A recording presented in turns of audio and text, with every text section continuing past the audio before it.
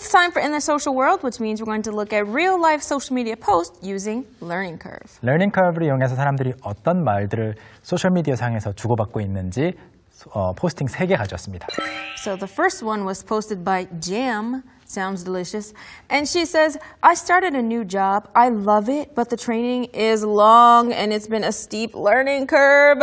I need more sleep and friends and family time. 네, 여기 보시면 이 steep learning curve가 조금은 다른 뜻으로 우리가 아까 소개했던 것과 어떻게 보면 반대 뜻으로 쓰이, 쓰이고 있다는 걸 알 수 있습니다. I started a new job. 새로운 일을 시작했는데요. I love it. 마음에 드는데 but the training, 훈련, 교육이 is long, 길고 and it's been a steep learning curve.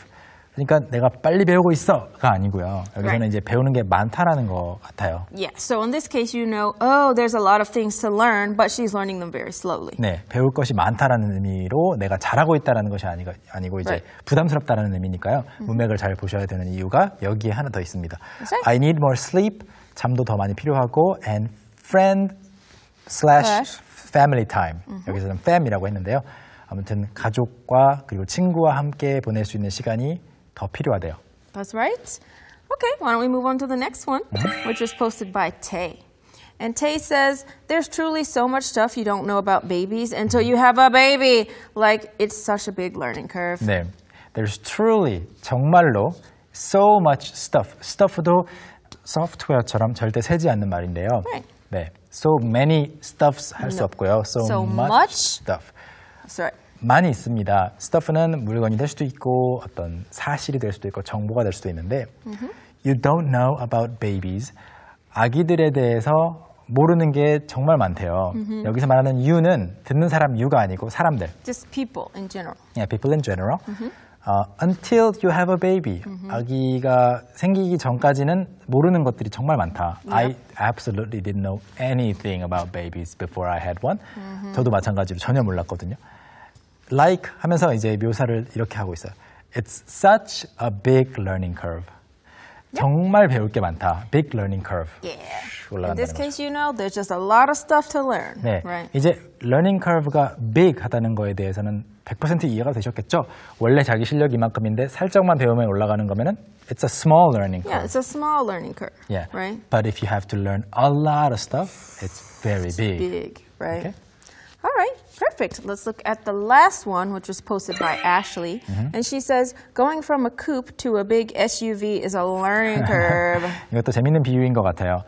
근데 그 쿠페 자동차 형태죠. 쿠페를 coupe라고 아시, 아, 하시죠 방금 coupe. right. 네. So sometimes we say coupe, but I think you said some other people say a different word. Especially people from the UK. I Uh-huh. know I follow some car reviewers online and they Mm. always say coupe. Coupe. coupe. Okay. So coupe or coupe, both are okay. Right. Especially since you're more used to coupe in Korean, I think. Yeah, um, you could say coupe. It's coupe. fine.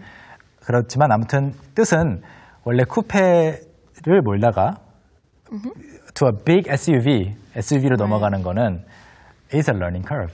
That's right. 배울 게 많다. You have to learn how to drive that big thing. Because you are higher up and maybe it's bigger. It's wider, Wider. longer. Yeah. So you really have to figure out how to drive it. Yeah, and you, maybe you are more cautious when you make a curve or turn. Yeah. 그래서 여기서는 이게 배울 게 많다 적다라는 말을 안 넣고 그냥 it is a learning curve라고 해- 했던 것도 재밌어요. Yeah, 그냥 it is a learning curve. So, okay, it's basically there's a lot of stuff to learn. 그렇죠. You feel, you get that feeling. yes. I hope watching our show 생활 영어 is not a big learning curve. 그냥 자연스럽게 공부가 됐으면 좋겠어요. Yeah, I hope that you can learn, you know, very well from us. Yes. And that is the end of In the Social World and also is the end of our show. But just for today, we'll be back next time. 저희는 다음 시간에 또 재미있는 표현 하나 더 소개하겠습니다. That's right. See you next time. Bye. Everybody,